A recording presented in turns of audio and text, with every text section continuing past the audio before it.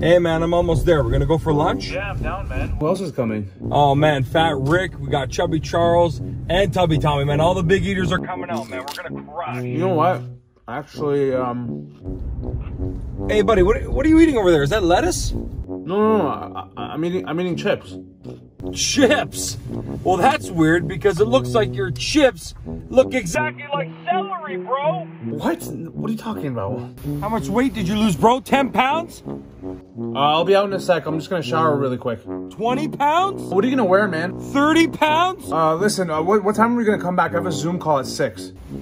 50 pounds? You lost 50, but you broke the 50 pound barrier? How could you, bro? 50 pounds? you know what? I did break the 50 pound barrier, and I feel better than ever. So what, you can just shop at regular stores now? Is that what you're saying? Yeah, for the first time ever, I can fit into a Zara Double XL. Just please tell me you're out of breath when you climb the stairs still, please. Bro, I'm going for runs now. Runs? You're going on runs? Buddy, soon you're gonna tell me that a large meat lover's pizza can feed two to three people now. And on my last cheat meal, I ordered a medium vegetarian pizza, and there were leftovers. Leftovers? Oh, come on, man. Don't tell me you did this for a girl, did you? Jesus Christ, man. We had a pact, man. Fatties before baddies. How could you do this to me, bro? You know what, man? Life is so much better on the other side, and if you don't appreciate that, then we can't be friends anymore. Bye.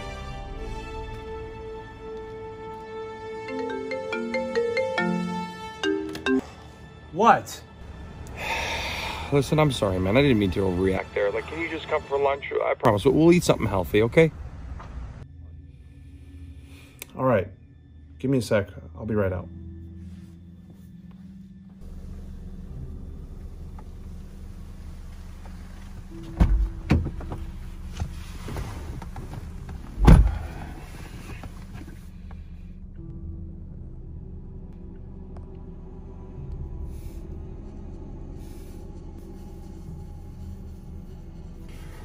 So, where do you want to eat? Well, there's this like new place that has like amazing cauliflower chicken wings. Get the fuck out of my car.